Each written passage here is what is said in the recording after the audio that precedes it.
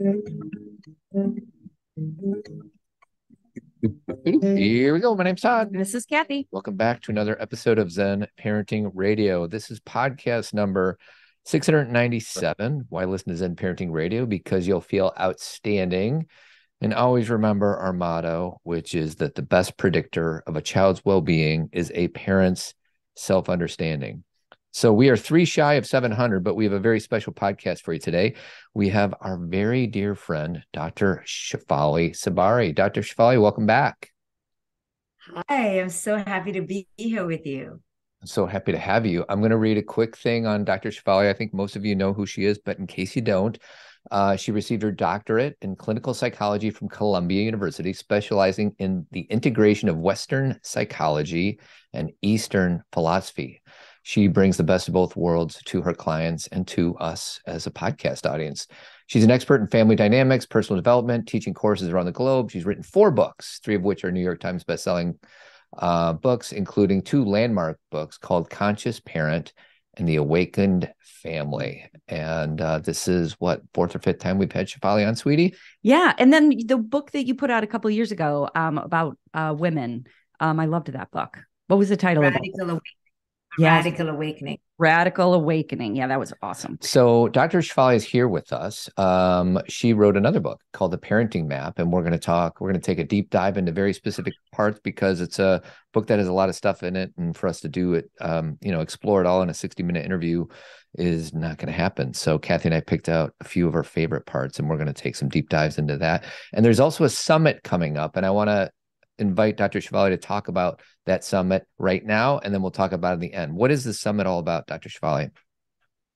So I got together all my dear friends in the field of psychology, education, mindfulness, counseling to talk about what their greatest insights, tools, and strategies are for parenting. Cathy was one of my guests. And uh, it's a free summit with uh, more than 30 global experts. So I invite people to join. It's absolutely no cost.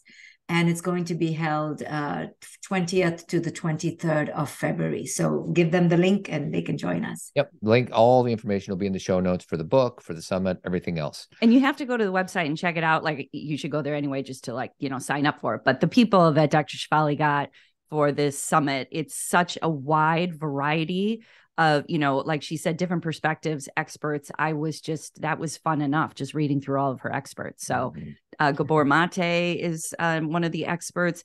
Um, dr nicole what's nicole's last name? Uh, she's a holistic yeah. Yes yeah. Like fascinating group of people.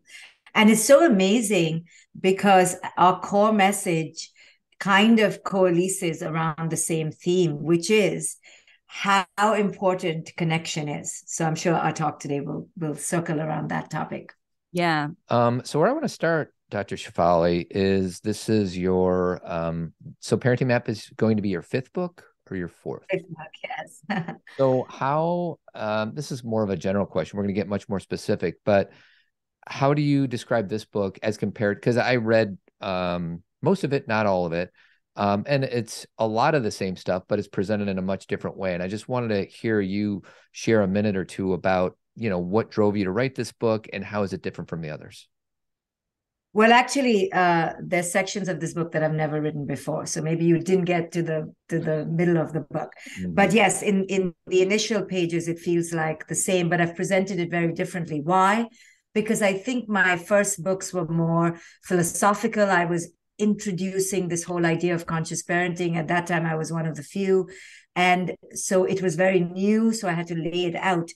And this book is very much a hands down, you know, get uh, dirty with it, nitty gritty, step by step. And it's really the how to become a conscious parent. So it's laid out in three stages. The first stage is all about changing the mindset, which is covered in my other books. But the middle of this book is stuff that I've never talked about before. It's uh, how do you break your dysfunctional patterns? And then part three is how do you really connect with your children but even in that section even though i've talked about it in in many many ways before i i really try to break it down with techniques with practice uh, practices that people can do on a daily basis every chapter has practices because as you and I know, parenting is really about the embodiment of and the application of these principles. So my first books were about the principles. This is about its application. Love it. And that's why, and I actually did get through section, the second section, and there was a lot of new stuff, and that's what we want to play with. Well, and that's kind of, you know, it's so, I mean, it's so comprehensive, Shefali. Like, I'm just envisioning you as a writer sitting down and figuring out how to put all this together because it's so you know you read a section and you're like oh yeah I, got this and then you like take that section and then break it down break it down break it down and so there's all these different ways to find ourselves and it like did is this part of because i know you have a conscious parenting like um uh, like a training. What do you yes, it's an institute institute. train people to become coaches and but in order to become a conscious parenting coach as we know we have to do the work ourselves. So yes so i use a lot of this uh, these principles in training people. That's why this book is more like a training manual uh, because you're right it's so heavily nuanced right? This journey every child is so different you know and there are bazillion techniques. So this is not so much about laying out every single technique but it's about how you as a parent need to truly begin to apply consciousness principles so that then your techniques or then your approach is infused with this very consistent mindful approach. Yeah. So um as you say the first section is kind of review of stuff that you've taught us and taught to us for a long time. And i'm just going to throw one of your quotes at you and i think is going to be a good way for the audience who's never heard of you to help you help the listener get in tune of how this is really about us and has very little to do with our children. At least that's the story I make up in some of your teachings. And you're also very uh, personal about it. You talk about your daughter Maya quite a bit. And this is one of your quotes. The truth is this each and every time I've been upset with my daughter, it's been because of my need for control and power, not because of my love for her. And I just wonder if you'd be willing to just riff, uh, because I think a lot of us parents hide behind like, oh, I just love my kid and I want to discipline him. I want him to be a certain way, blah, blah, blah. When in fact, it's really about our own relationship with control and power. Absolutely. So, you know, when we start this parenting journey, we never imagine all the frustration, the relentless disappointment, the constant heartache and headache that this journey comes with, right? So we have a very a celestial view of ourselves, right? Really pedestalized view of who we will be. Then, when these children come out and they run contrary to our fantasies and our visions, we lose our shit. Mm. So now we have dropped from the pedestal right? And we are in shock because we thought we would be these ever omnipresent, giving people. Now we've become raging lunatics. So this drop from from fame into shame is so heartbreaking to us on some level and so shocking to our egos that now we have to create a reason for it. Mm. And the reason must be these monstrous children right? So that's how the traditional parenting paradigm has run amok by making parents feel like, no, no, it's not you. You are you are amazing, and if you had another child, you would continue to be amazing. It's your bloody child that needs a talking to and a beating up so that you can then feel good about yourself again. Mm-hmm. So then we invented this whole thing called parental discipline, right? I mean, think about it. With no other adult do we ever talk about adult discipline or marital discipline or husband discipline. We should, but we don't because we wouldn't dare to, because it's absurd and absolutely ludicrous and filled with, laced with tyranny. But we do it with the parenting process because the traditional parenting paradigm has intoxicated us with this superior sense of control. So when we drop from that control, then we have to make a reason for it. The reason is the bad, the bad children, and then we yell, scream, ground, and punish.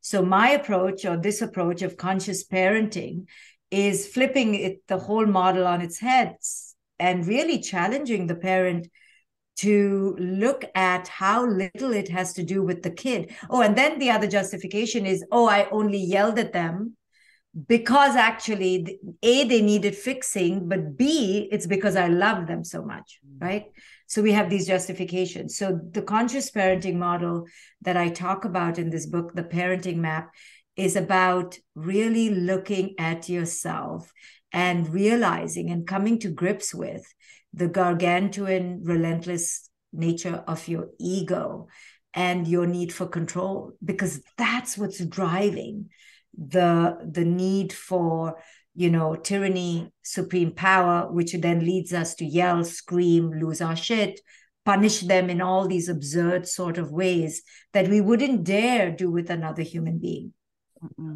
And then the irony of that we want you know we want that control even though people don't always readily admit that word but yet we want to have this really cute relationship with our kids where we're like you know they love us and they love being with us but i'm going to control you but still love being with me and, and love coming to family dinner. And that's kind of the mismatch too is parents you know what kind of relationship is that where i'm going to control you but you're going to enjoy being with me? You know that's that's no. the confusion Right. But not only that, right? Please love me. Yeah. Please unconditionally accept me. But then we're so flummoxed and literally confused when our kids then shut down from us, mm. withdraw from us, and then lie to us. And parents come to me and go, you know, my kid lies to me, and therefore I have to punish them. But then we don't get to the root cause of why the child feels so unsafe to lie. Lying is really a protective, very intelligent strategy if you're being yelled at for telling the truth, right? Every human then realizes very quickly, oh, I'll just scheme and flim flam and lie. So parents want something, but they don't realize how they themselves are constantly underpinning and uh, uh you know uh, uh, undermining their very desire for connection. Yeah yeah like they we we basically we control and then we kind even though we don't say this we want our kids to be afraid enough of us that they won't do something but then they're afraid of us so then they lie to us but then when they lie to us we're mad at them and that it's just this cycle of constant disconnection without looking at this person as their own as being their own person and having their own needs. Todd and i were just having this conversation before you jumped on about why kids lie because that seems to come up all the time? That's the question. And what you just said is that is what parents say to us, Shefali, is they'll say, but I have to punish them because if I don't, then what am I teaching them? You know, they see the very surfacey level of what just happened versus what is that lie that our kids just you know told us what does that mean about how they feel in the home how they feel as themselves or how they feel with us absolutely and the revolutionary approach that conscious parenting highlights is that when your kid lies to you, you go to them and say, Wow, I really effed up here. I have really messed up here because I've created an environment where you don't feel safe to be accepted by me. And I need to get a C grade for parenting right now because I've made you have no option but to become quote unquote a bad player here because you are the best player. You are the most goodest person ever. And I have literally now transformed you into a freaking liar. How did I do that? Mm-hmm. Now imagine any one of our parents coming to us and taking that accountability. Wow right? Now we have created partnership again. And then the kid goes no mom it was me. And the mom goes no it was me. But now we are connecting. Now we're partnering spirit to spirit right? And i often tell couples which is even harder that when someone in the couple lies we want to scream at them bite the head off. And the mo- more revolutionary compassionate approach would be wow you don't feel safe with me. We're not even friends anymore because of my my contribution to your not feeling like you can come to me with your darkest secrets, right? Yeah. Well, and that's what I love about your work and what, you know, Todd and I get to talk about all the time is how everything you're learning as a parent applies to every single relationship you have. You know, it's universal principles that I feel like we feel most compelled to really tackle as parents because that's that relationship that we, you know, finally feel like we're facing ourselves head on. Um, so yeah. I just really appreciate that. Um, I was going to save this till later, but I just need to jump in regarding punishing because it's obviously what care, a lot of parents want to talk about. And um, step 15 in your book, you say instead of punishment, do this. And one of the things that I I wrote down when I was reading it, it said connect before you correct, which I think has a world of wisdom inside of it. And I and you I want you to riff off of it, but I think the idea is connect with your kid before you try to do any type of teaching or anything else, which is so easily forgotten about because when your kid does something, you get pissed and reactive and everything else. So, and then like for me, it's like I need to connect with myself first and then the child and then maybe i can do some teaching or some maybe. some guidance after that um, i just wonder if you want to share a few thoughts about that I love that. So, yeah, that's the cornerstone of conscious parenting, which is connection before correction. And like Cathy said, conscious parenting is not about parent child, it is tr- truly about a life philosophy and how you approach humans and your own humanity. So, what I teach in this book, the parenting map, over and over, I'm, I'm helping parents build the muscle to understand that they are not simply raising a child who they need to fix. They are raising a whole human. So that means you have to look at yourself as a whole human.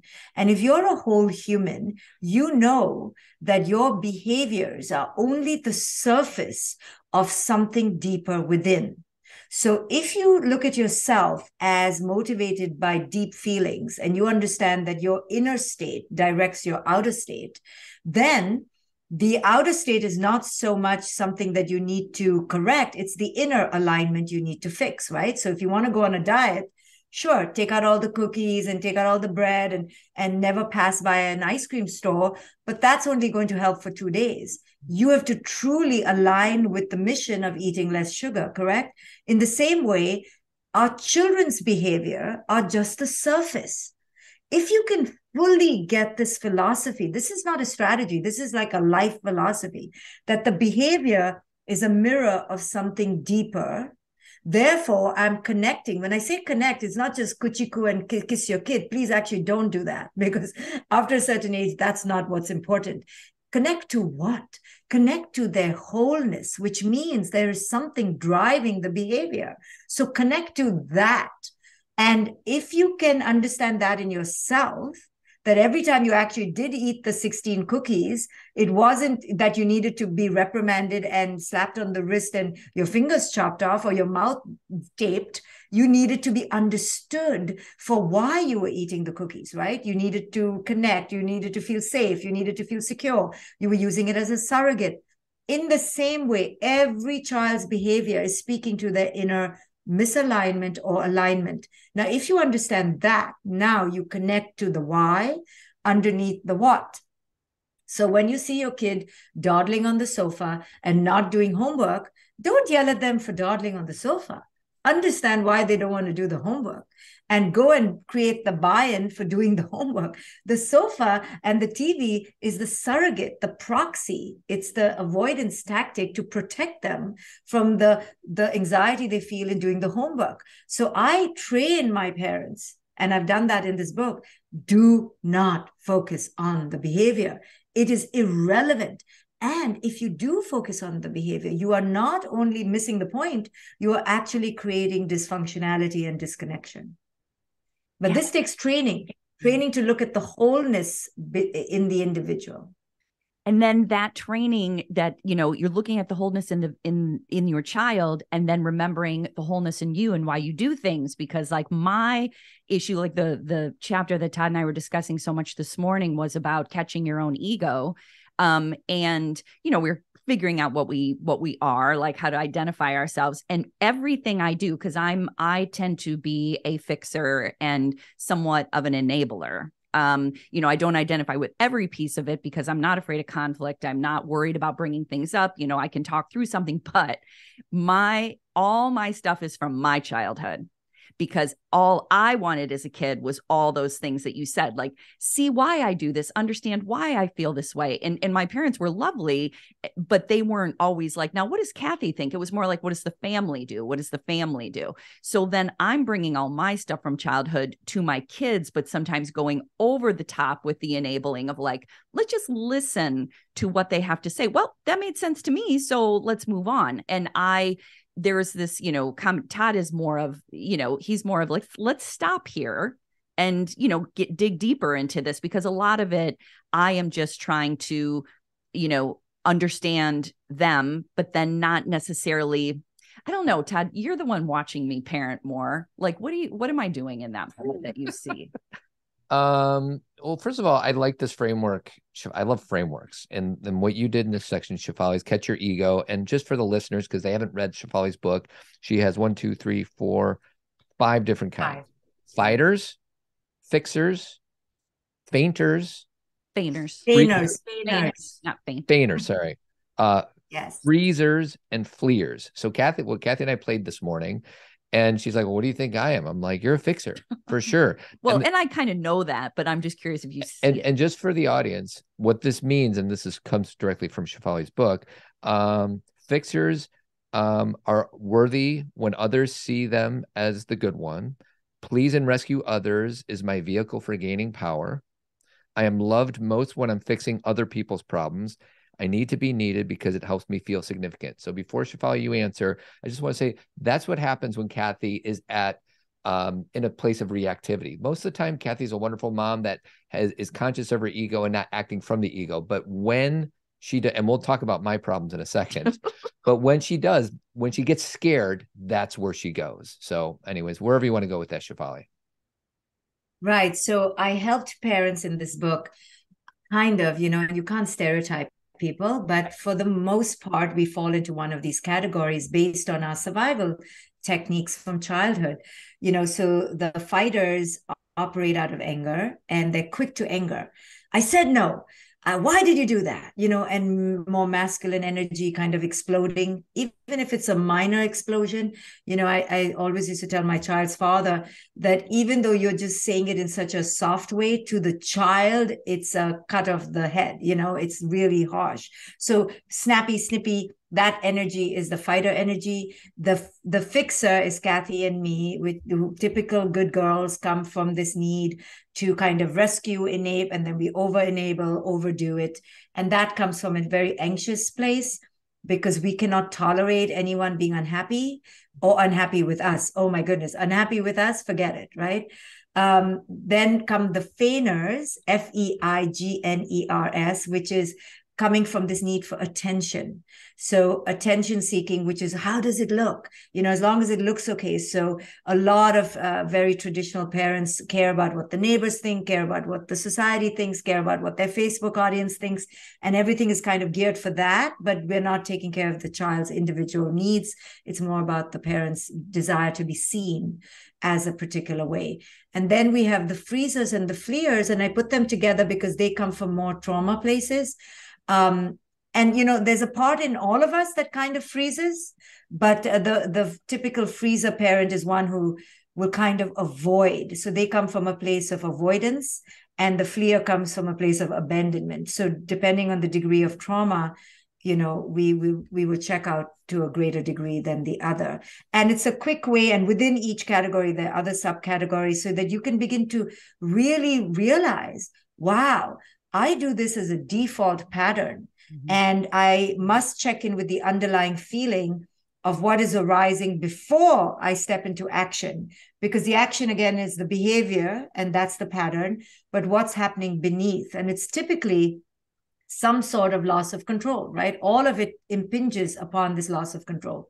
So, Todd, what, what would be your style? Do you want to take a guess or no? I mean, I know you don't know me that well, but maybe a little bit of first a freeze and then more of a of a snappy snippy uh yeah i'm sure there's more snappy snippy but i totally identified with the freezers and i'll give you a real oh my god really? You were right yeah. I, um, I just guessed it. And I'll give you a real world example that happened yesterday morning in our household, which is always fun to hear us talk about our problems. Um, but this is what it is for the freezer, according to Shefali, and I totally identified with it in order for a freezer, uh, you need to get emotionally involved with others. If I do, I'll experience pain. So let me just remove myself from that possibility. Conflict is painful and could lead to abandonment. Um, and as you said, there's subcategories, and I found myself in the subcategory of half-assed. so the half-assed freezer means vulner there requires vulnerability, and I don't want to be vulnerable. I'm afraid of being connected to others. I reject any. Um, uh, I check myself before others. Oh, I I basically instead of um, getting attacked, I just remove myself. That way, I can't. Nobody needs to count on me, and it's safer to watch from the sidelines than to jump in. So yesterday morning, our 18 year old daughter came home Saturday night a little bit later than she usually does. I'm on my computer in my office, and I said to Cathy actually that morning, this kid showed up a little bit later than she's supposed to, right? And Cathy's like, as the fixer, I'll talk to her. And I didn't say this, but in my my consciousness, I'm like, great. Now I don't have to talk to her. so the next morning, we're like, Cathy's like, oh, you got on it this time instead of that time. And I'm typing on my computer. I'm not even in the room. Just be thanking Cathy because she's willing to have this uncomfortable conversation. And you're right. When you talk about trauma, I got some trauma from my childhood with my parents fighting and a lot of some domestic abuse and conflict is for my nervous system. So it's just safer for me to stay on my computer and let Cathy do all the hard work. So that's who I am. When I'm yeah, in you know, I'm not I'm not always there, but when I'm scared, that's where I go. Yes, and we'll be surprised to realize how many men in even they even though they're fully masculine in their power, they resort to to checking out you know? Their first mode is to check out. You would think they would jump into the fire but they don't. And typically freezers and fixers make a great combo for the very reason you just said. Uh, and many homes have the fixer mom. And i know i'm being stereotypical but i see it over and over again where the mom is the one who's just jumping in and then then further encouraging the the freezer right? And further emasculating them into the into the dynamic with the home. And then typically if the the one of them becomes the fighter and explodes uh, then you know because one is bearing that brunt they're holding that energy too much and then uh, they can't so they explode. So all of these ways become set patterns in our homes and we're working on robot mode. We're working on automatic mode. And we don't even realize how we then rob our children of their own inner governance and their own inner resilience. Because we're jumping in we're fixing. And then another combo i see is of course very typical combo is the fighter and the fixer right? So one typically the male is more the fighter. And then the the female feels the need to even more clean it up, rescue, save the situation. And it creates these unhealthy patterns and it's burdensome for everybody. No one wants to be any of these patterns, but these are patterns that we're bringing into the dynamic from our childhood. And you know, if you if you notice in this in this section, I draw the loops out. I show each loop, kind of give a visual representation because it's one thing to hear someone say what they are, but it's another thing to identify it in yourself. Mm-hmm. Yeah. Yeah. That takes work to see it in yourself. I could see everybody else's problems. It's just really hard for me to see my own. Go ahead, sweetie. Well, and I, that's the thing is that you see how this impacts the family, the relationship. Like, you know, I'm somebody who is, you know, the girls come home and even if they don't say anything, I can feel something's going on. And I'm not always like on hyperdrive to fix it. Sometimes I like staying out of it, but I can feel it. And so, and if I do bring it up to Todd, he's like, ah, so I can also, he can, even though he would never use these words, he sometimes I feel like perceives me as being neurotic about things because he's like, ah, stay out of that. You don't need to do that. You know, and so he becomes the solid rock of the family that never gets involved in these things. And I'm the one feeling all these things, help, you know, supporting the girls when they ask for it. So then, and then the same thing with the I I do too. Shefali, I work with a lot of fixer fighter um, you know families as well and then the fixer mom again we're generalizing stereotyping but it tends to be she almost has like this secret relationship with the kids where they're like let's just not bother dad and let's just pretend things are okay and then the dad gets to kind of keep doing the things he's doing and there's like such a separation so you know speak to that too how like these these dynamics can really change the the way the family operates 100% mm-hmm. Right. So when we're not aware of what we're doing, we're just filling in the psychic holes, so to speak, right? We're just you know, you both didn't decide, oh, I'll be the freezer because you're hyper fixer. It's just you fall into it, but then you perpetuate it, right? Then you burst, like I said before, you explode because it becomes too much. So then you begin stealth patterns, right? Of of creating these alliances and these unhealthy trysts because you have to to keep it going so then to break out of it gets really hard but it's easy it's much easier to break out of it than to explode and deal with the fallout you know so this book is going to help people to break out of it so to break out of it it would really mean to a own one's own pattern. So in my family i was always jumping in between my child and her father and and helping my child not get into trouble cleaning it up. But i realized what i was doing was was unhealthy for me because i'm the keeper of secrets unhealthy for her and unhealthy for him because i was disconnecting him from her. So i had to really say hey you guys now it's on you uh, but that took a lot of courage to step out of those dynamics and to let people deal with themselves you know so maybe for you cathy once in a while you can say hey Todd, why don't you jump into yeah. the fire, right? Why don't you handle this one? Yeah. This is my week. Now it's your week, especially as the kids grow older, so that we each get a chance to equalize that dynamic. But then, Cathy, you would need to really step out because then he then he needs to do it his way. And typically, the ones who are in control, aka the fixers, don't like to hand over the control, right? We, we have a vision for how it should look. And that's where we overburden ourselves. Let them, this was so hard for me because, quote unquote, I'm the conscious parent, very hard for me to let go my daughter to the other parent because I could see him doing it in a clumsy way or like, oh my God, you don't, you don't say that. But I had to allow it because otherwise I would burn out and it wasn't healthy anyway. Well, one of my best examples is Cathy sometimes goes to, uh, we have a, uh, Aunt Peg has a place in Galena. So Cathy goes to Galena, which is two and a half hours away, for a few days to write or do some version of self care. And I'm always like pushing her out because I, she comes home recharged because Cathy gets drained from the day to day experience from of being life. a mom and life and all that. But n- another benefit, uh, aside from her coming home recharged, is that she's not there. And what I mean by that is I know that I have co-created a situation when when my daughters are really struggling, they're going to go to Cathy first. I would love to blame Cathy for it. No, I take full responsibility that this is the dynamic that I have co-created with my daughters. But when she's not there, it's wonderful because there's no choice. And then they come to me in a place of reactivity about something that happened in school. Like I'm the guy, and all of a sudden I'm like, wow, this feels really good that I'm the guy. There's only way for that to happen is if Cathy, not the only way. No, that's the, the best, way that's created. The now. best way for that to happen is if Cathy's not there. So I appreciate that that share for sure.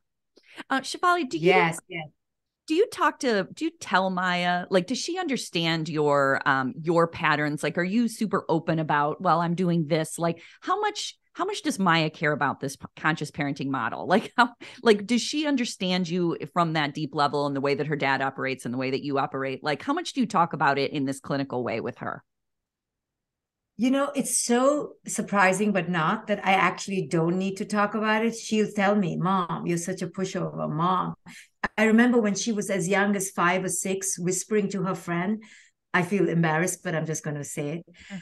Telling her friend, wait, wait, my mom is saying no right now, but we just have to keep asking her. And then she's going to say yes.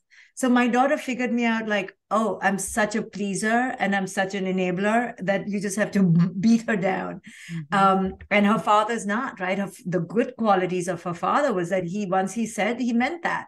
But there was no such thing with me. So Maya knows, I don't have to clinically say, but she all, but clinically, I have talked to her about do you know I, you know and again this is my ego. Mm-hmm. like maya do you realize how lucky you are that you've never been never been punished yeah. never been you know, grounded? You know she had no curfew growing up because i i had a whole different philosophy philosophy. We can talk about it. And it did work.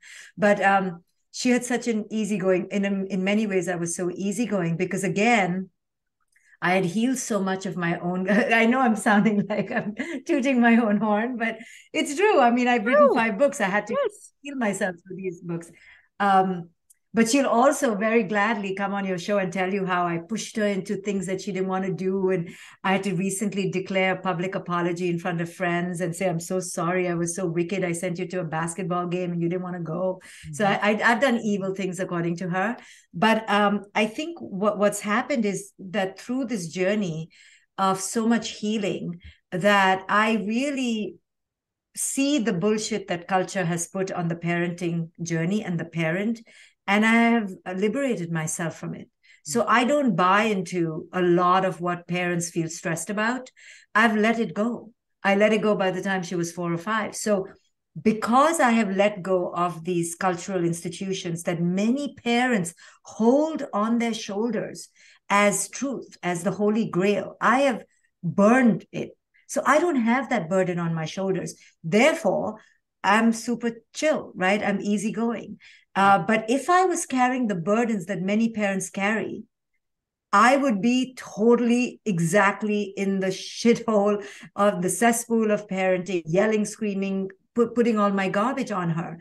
So, therefore, the, I write these books to help other parents also liberate themselves from the burdens that culture has put on the parent. You know, I call, call it the parenting industrial complex. The parent has been screwed with false ideas about how to raise this perfect child and this super uber, you know, successful being. That is a lie. And as long as we hold that as the holy grail, we will be losing our shit. Everything our kid does that is anti perfection will feel like failure, which means we have to scream and yell.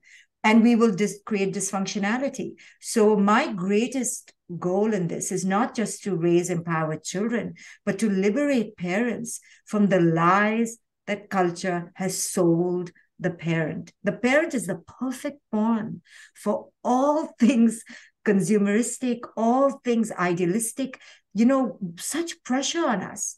We have to raise children who speak multiple languages, who know how to ski backwards, who go volunteer in six world countries, who, you know, what the hell? You know, we, we think we have to raise these magnificent beings.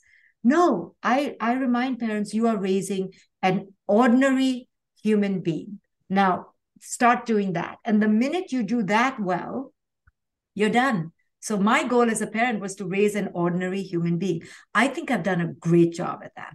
Yeah. Yeah. Like everything you're saying, like we can't have connection or relationship inside of the paradigm that has been created for parents, you know, mm-hmm. that lives in our mind, that lives in our trauma, that lives in our culture, that li- we can't have what we want inside that paradigm. So, like you said, you have to burn it down or start to take it down brick by brick because Shefali, this is like a perfect example of, you know, that example that Todd just said about, you know, she came home late. So we've had, we're very similar to you in this way. Our daughters have had a lot of freedom in their life in every way. Be in what you want. Do this, you know, grades are your thing. And I agree with you. It's worked out really well. And then, but then sometimes we get stuck in things like, you know, I said to you know my daughter what time what time will you be home? Oh i'll be home around this time. Okay. So then when she's not i'm like wait a second you weren't home at that time. And then i get stuck in the like and then i said to todd this morning like what is it about that time? Because all of a sudden i'm in conflict with her when really i let her decide that time anyway. But we there's this i still i just see how it just creeps up again even if you think for me at least you know i think oh i've let go of these paradigms. But then i still find myself being like I have to have control in this area. I have to let her know. And so that's the yeah. thing. It, it comes up again and again, don't you think? It comes up again and again. So, you know, it's like I let my daughter choose her classes and then she went and changed one of them and didn't tell me. So then again, I was just like, I didn't say a word, but I noticed myself going, hello, just because I give you freedom, you just cannot just run away with this. I'm still the queen, right? It's that this this but this parenting paradigm has been ingrained in us which is but it really comes from our inner child which says hello i think i'm the parent and i'm supposed to be given notice. Like why didn't you ask my permission to be 10 minutes late? Right? We still want this parental control which actually sounds grown up but it comes from a very childish place. Because after 18 years old what are you even asking her right? Right. in months she's going to be away at college you won't even know what she's doing or she's already at college so, so what are we really asking it's an illusion of control It is. I, I agree. Before you go there, because I know where Todd's going to go. No, you don't. No, you I, don't. I don't. Well, what I the thing that's interesting about that is if what am I teaching in my home that when she's not living here she's not going to live that like it's it's such a game of make this look good to me because i'm not even it's not about putting it on instagram for other people or talking about it here it's about make this feel right to me kid but then when you're at school do whatever you want and so it really hmm. is her making me feel better so i'm sorry todd but i just needed to like I agree with everything Yes. everybody's saying. I'm going to push back a little bit though, because let's just say curfew. Like that's easier for us all to understand. I I agree, and Cathy and I sometimes get accused of permissive parenting, which I don't think that we're permissive parents. I'm guessing Shefali, you probably have been accused of the same thing. And I think that we're doing the way we are doing it works for us. May not work for everybody else, but it works for us. But isn't there something to that kids want boundaries and guardrails? And I feel like that is a little bit in conflict with what we're sharing right now because although the kid wants to be able to stay out all night, there's a part of them that wants to know that their parents give a crap of what time they show up. And I just wonder how those two ideas intersect.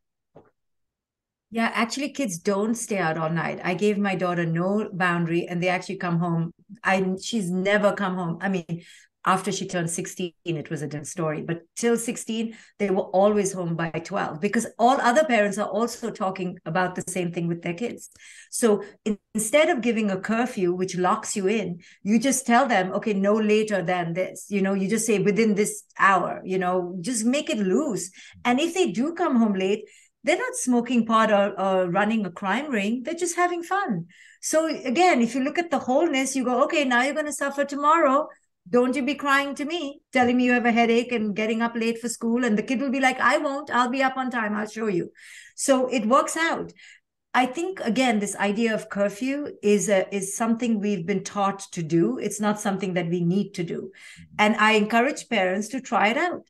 You know, just tell your your kids, "Hey, I just hope you come home b- between the hours of ten and eleven if they're if they're in seventh grade, and between this and this if they're."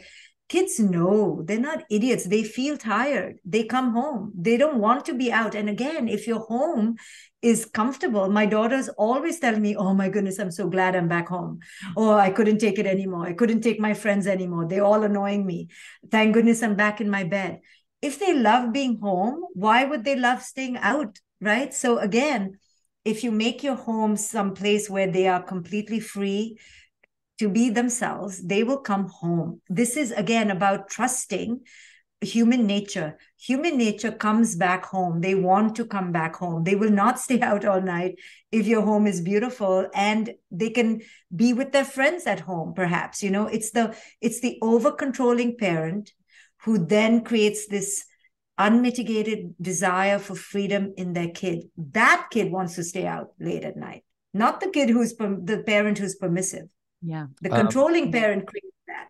Yeah, I, I agree. And I, t- I'm so glad you shared that is the idea of keeping your home safe. And what does that mean? That means that they're not going to be judged the minute they walk in the door. So I think that's really important. But I want to pivot because I don't, I know we're going to run out of time and I want to make sure I get this in. And you also do a good job of explaining there's no encapsulation of anything, but in uh, step 12, I don't know if it's chapter 12, but step 12 is to learn kids' psyche. Mm. Okay. And you have five different I don't know how many there are, but there's a handful of different types of kids we have. And obviously it's not a one size fits all. There's variables, there's there's fluidity between these types. But I'm worried that you have been looking at my family through a hidden camera based upon some of these frameworks that you share.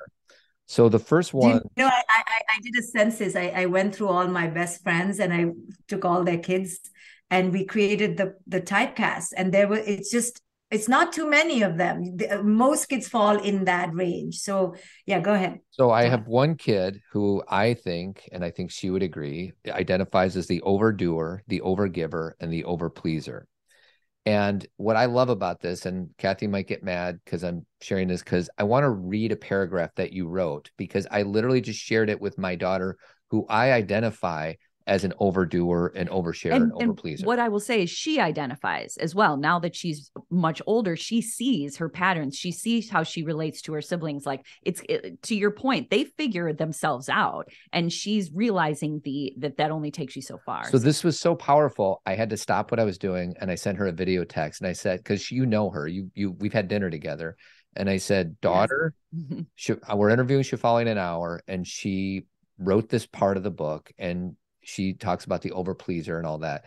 And I read this to her from your book in a video message and said this You're an extremely giving being who wants nothing more than to make others happy. This is your nature. This can be taken advantage of by others if you aren't uh, protective of your heart. You need to realize that unless you please your please and love yourself first, you will neglect yourself. You don't have to be perfect for others to love you. You are allowed to be ordinary and even to fail. You don't have to please others all the time. You'll meet many who are not as caring as you. You are a giver and will encounter many others who will keep on taking from you. You need to discern between who is worthy and who isn't. If you learn to open your giving heart to the right people, it will be your superpower. The most important person in your life is you. Mm-hmm. Always remember that. You come first listening to yourself and honoring your own truth is paramount. And that like just hit me in the in the gut and the mm. heart because i feel like if i can give my daughter any wisdom you encapsulate it in that paragraph. And sometimes cathy's like well just tell her what like i need somebody to feed this to me so that i can share it. Like i'm not wise enough to encapsulate it in a nice tight paragraph like that. So i just want to like honestly say thank you for sharing that with me. And i think my daughter is going to say thank you too and I did that for every type of kid, for the anxious exploder, the recluse kid, the shy, the introvert kid. I what, what that is saying is that I'm helping parents realize that don't change your kid from their authentic template. Mm-hmm. See the superpower in that. Mm-hmm. You know, I, I, often say, you know, my emoji for my daughter in the phone is a porcupine. Maya has been a porcupine since she was born, but it's she's so beautiful. She's cute, and then she's bristly and she's tough, and and it it also covers a very soft heart. But boy, is she a porcupine! So, um, but but I found the beauty of her, and I see her. She's my teacher, mm-hmm. and I you know honor and celebrate that. And similarly instead of making her you know a, a, little pigeon in my hands which i would have wanted or dreamed about i began to honor who she was and i'm helping parents in this book and in that stage to identify the nature of your child and then zone in on their superpower. Don't make them someone they're not. Help them become more of who they are. Because when they are easy with who they are, then they actually will adapt to other situations and other ways of being. But if you're constantly telling them that who they are is wrong, then they're like, okay, then they're in fight or flight mode. Instead, celebrate who they are. So with each of the types, I give a little saying that they can say to themselves or say to their children and bestow their children with this gift of seeing them for their authentic nature. Yeah, and just uh, you know, we have uh, another one of my daughters is is more like Maya, and she and my other daughter that Todd is referring to, they're so interesting together because they're very very close. But my older daughter will sometimes try and protect everybody from my other daughter's boldness and like the way she just says what she thinks and does what she wants. And there's like they even have and what I what Todd and I were talking about this morning is as parents sometimes you can over identify with one where you're like but this one's so easygoing. Why can't you be easygoing like this one? And you you know we sometimes are like so comfortable with the overdoer that we don't notice how the one who's a little more rebellious has this really mm-hmm. strong presence where we don't worry about her when she goes out in the world. Like I don't think about that she, you know, I mean, she's human. She could be taken advantage of, but she's got a really strong sense of self. So as parents, we have to watch that too, that we don't over identify with one of these types. Right. And the overdoer, over pleaser is the love. The, every parent wants that kid, like, come serve me. but in doing that, we can create this comparison with other siblings. So we have to be very careful. Again, culture likes the overgiving girl, especially. So we have to be very careful that we don't over uh, honor that because then that person feels they have to do it to the point of self-sacrifice right so so we have to honor all parts and that daughter needs to learn from the porcupine daughter and the porcupine daughter needs to learn from that so and i always say I'm not here to change Maya's nature. Maya will learn from culture, from society, from her friends. I'm here to honor their true nature. And I think that's what a safe home is, where we can honor their true nature, where they can be exactly who they are at home. But see, parents are always just focusing on the behavior, the behavior, the behavior. And that's where we get into a rut. And the more we focus on the negative behavior, we can, the three of us can promise it grows. The negative behavior grows. But if you can go beneath the negative behavior to understand why the child is behaving like that and address that, then the negative behavior is no longer negative behavior. You know, so if you can understand your kid coming home late and missing curfew as, oh, wow, you're having a great time, mm-hmm. I get it. Listen, let's talk about it. If you're having such a good time, I want you to have such a good time. Can we find a way that you can text me, that you can just ask me, that you can let me know? Then you see the curfew is not the focus and the behavior is not the focus. And therefore, you're not creating disconnection. So you always find a way to connect to who your child is. Mm. Your work is so beautiful, Shefali. Um, Thank you for doing what you do. The name of the book is The Parenting Map. The name of the summit is Parenting Mastery 2023. You can buy the book or sign up for the summit just by clicking in the show notes uh, underneath this po- this podcast. Um, and Shefali is going to be with Team Zen on Friday. So if you're listening to this in real time, we're recording this on February 13th and you want to have a Q&A with Shefali, she's going to be, she's been um, kind enough to uh, support our Teams Zen subscribers. So hopefully you will. And that's this Friday, the 17th. This Friday, the mm-hmm. 17th. So just uh, sign up for Team Zen in the link below. Any closing thoughts, Shefali? No, thank you guys for always supporting me. You're, you're the best. I adore being with you. Thank you so much.